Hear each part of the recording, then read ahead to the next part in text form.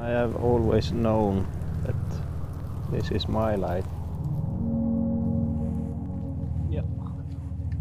I haven't even thought about anything else. Just to look at them, you understand.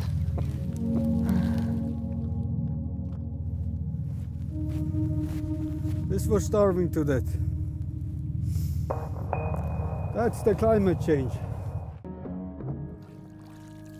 We're hearing that we could have 200 million climate displaced people by about 2050 or shortly afterwards.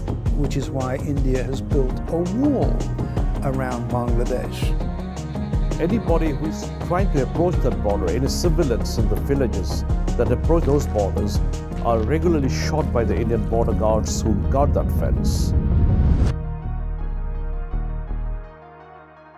We are doing wrong everyone. We are destroying this planet, this way of living.